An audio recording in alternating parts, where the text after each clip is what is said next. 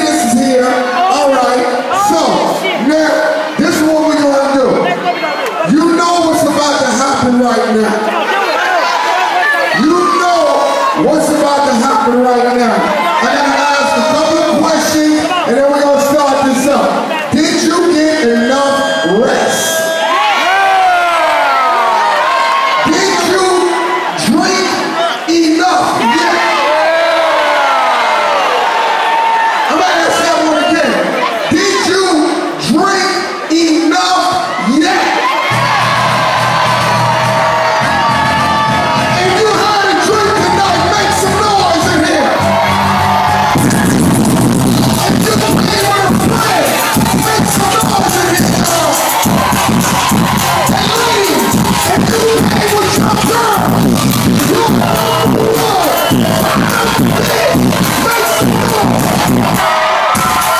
I'm